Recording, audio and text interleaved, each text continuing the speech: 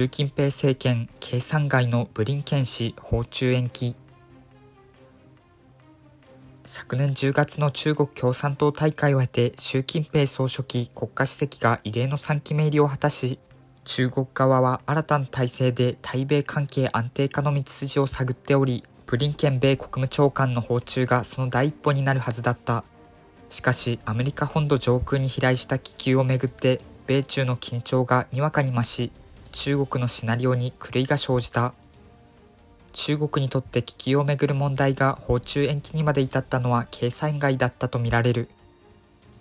中国外務省のモーネ報道官は3日午後の記者会見でアメリカとともに冷静慎重にこの問題を処理することを望むと発言。同日夜には報道官談話を出して不可抗力でアメリカに誤って入ったとして遺憾の意を表明し早期の幕引きを図ろうとした。昨年末には中米大使を務めていた秦剛氏が外相に就任。対米関係を重視する人事と受け止められている。ブリンケン氏の訪中にも中国外務省報道官が早々に歓迎を表明。対米関係の仕切り直しへ同志訪中を重視していることを伺わせた。今回の訪中延期は中国側のメンツに関わるが中国外務省は4日の報道官談話でもアメリカの事情であり尊重すると抑制的なトーンだった。アメリカ政府への非難は避けアメリカの一部の政治やメディアがこれにかこつけて中国を攻撃中傷することに断固反対すると的を絞った批判にとどめた。対米関係の安定化は中国にとって喫緊の課題だ。昨年末まで続いたゼロコロナ政策で中国経済の悪化に直面する中アメリカ企業などの対中投資を呼び込みたいという事情がある。またバイデン米政権が同盟国などと進めている半導体の対中輸出規制強化に歯止めをかけることが中国経済を中長期的に左右する重要課題となっている。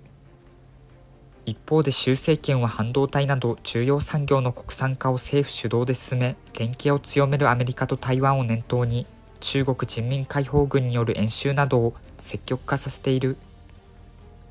対中対立が長期化することは避けられないことも織り込み一方的な譲歩はしない姿勢を習政権は強めており今回のような不測の事態が再び起きる可能性は今後も残る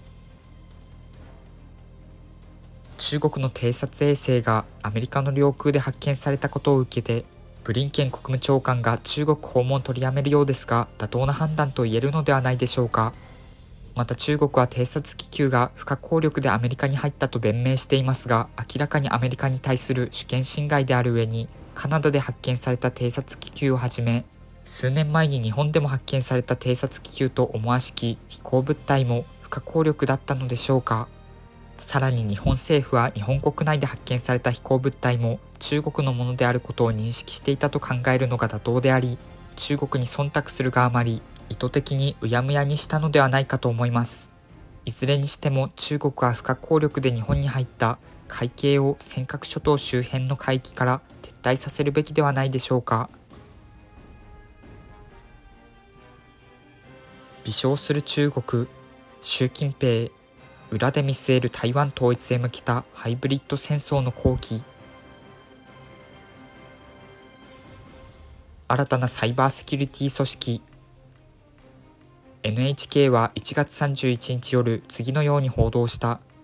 サイバー空間での安全保障の強化に向け政府は内閣官房に内閣審議官をトップとするサイバー安全保障体制整備準備室を設置しました。政府は先月改定した国家安全保障戦略でサイバー攻撃を未然に防ぐ能動的サイバー防御の導入に向け今の内閣サイバーセキュリティセンターを組織改正し強化するとしています。これまでは首相のもとに2015年1月9日に発足したサイバーセキュリティ戦略本部、本部長、内閣官房長官の事務局として内閣サイバーセキュリティセンター NISC センター長、官房副長官補、副センター長、内閣審議官が担った新たにサイバー安全保障体制整備準備室を設置し NISC を組織改編するというのである。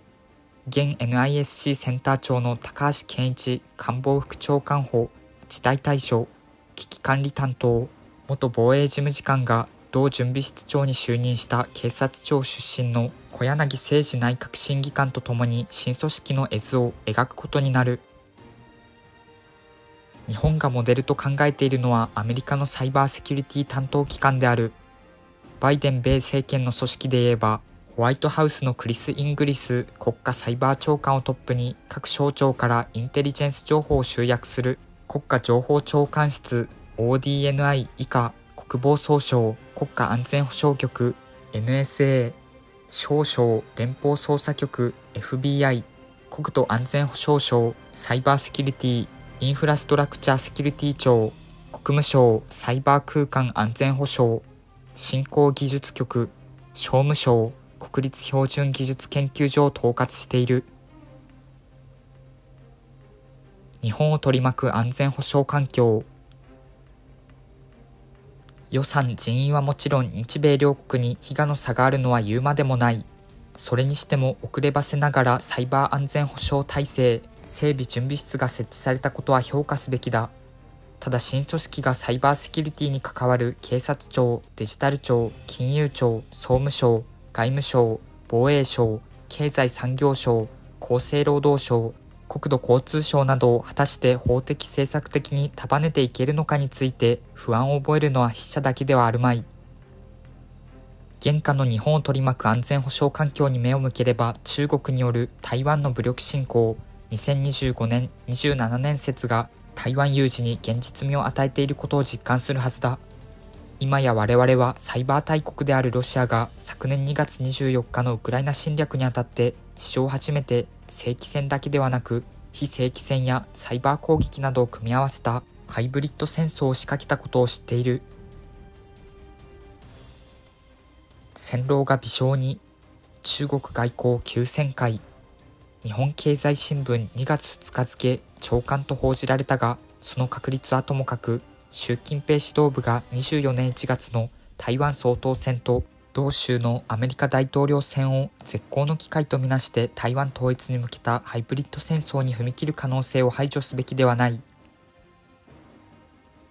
狼少年になるつもりはない。しかし戦狼の微笑に急旋回が嵐の前の静けさではないことを願う。否願うだけではダメということなのだ。昨年12月16日に閣議決定された防衛関連3文書の国家安全保障戦略にある国家安全保障戦略におけるサイバー関連のその他記載に以下のような記述がある。領域横断作戦や我が国の反撃能力の行使を含む日米間の運用の調整相互運用性の向上サイバー宇宙分野などでの協力進化先端技術を取り込む装備技術面での協力の推進日米のより高度かつ実践的な共同訓練共同の柔軟に選択される抑止措置 FDO 共同の情報収集警戒監視偵察 ISR 活動日米の施設の共同使用の増加などに取り組む。まさに喫緊の課題なのだ。現在会期中の衆参委員予算委員会で与野党が改定された防衛3文書の国家安全保障戦略に盛り込まれた政策について百花聡明の議論を行ってほしい。岸田文雄首相長男秘書官の外遊中の買い物の賛否よりもはるかに意味がある国会論議だと書くと指断されるかもしれないがいかがなものだろうか。中国が台湾統一へ向けてハイブリッド攻撃を仕掛けているとのことですが日本も対策を強化する必要があることは言うまでもないでしょう。また中国による台湾統一は日本にとっても決して対岸の火事ではありません。言い換えれば全国的に米軍基地を構える日本も巻き込まれるのではなく紛争の当事者であることを認識する必要があると思います。岸田首相は中国のハイブリッド戦略と対峙することはもとより日本の安全保障をアメリカ一カ国に委ねるのではなく核武装も検討するなど防衛力を強化する必要があるのではないでしょうか。軍事力の均衡こそが最大の抑止力となるはずです。いずれにしても中国は米国内で偵察気球が発見されたことについて誤って侵入したと見解を発表していますがそれでは連日のように誤って侵入している海警を尖閣諸島周辺の海域から撤退させるべきではありませんか。謝罪を忘れずに。